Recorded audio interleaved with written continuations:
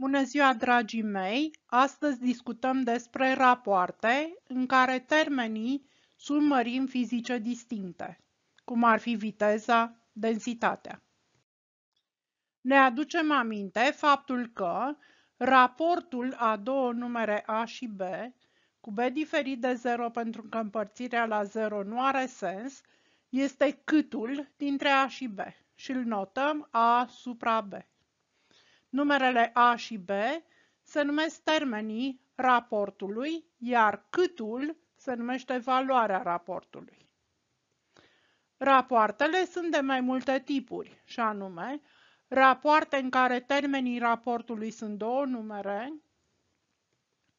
rapoarte în care termenii sunt două mărimi de același fel, și rapoarte în care termenii sunt mărimi fizice distincte care conduc la definirea unor noi mărimi fizice. De acestea ne ocupăm acum. Viteza este o mărime fizică egală cu raportul dintre distanță și timp. Se netează în felul următor, V egal cu D supra T, ce observație putem să facem? Faptul că unitatea de măsură pentru distanță este metrul, unitatea fundamentală de măsură pentru timp este secunda și atunci viteza se va măsura în metri pe secundă. Mihai merge pe jos 5 metri în 10 secunde. Să calculăm Viteza cu care se deplasează Mihai. Deci viteză egal cu distanță supra timp, egal mai departe 5 metri supra 10 secunde.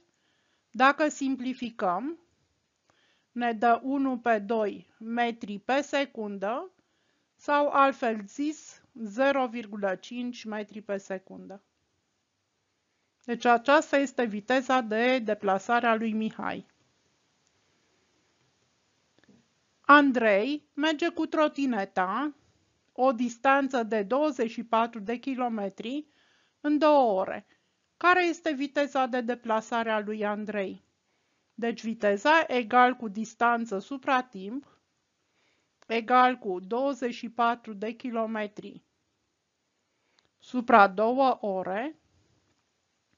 24 împărțit la 2 este 12 km pe oră. Oare care este viteza de zbor a unui avion? Poate o găsiți pe internet.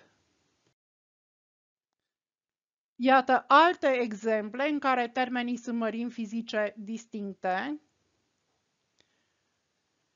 Densitatea sau densitatea de masă sau masa specifică este raportul dintre masa corpului și volumul corpului. Densitatea se notează cu litera grecească ρ și este egal cu masă supra volum. Masa corpului este exprimată în kilograme, iar volumul corpului exprimat în metri cubi.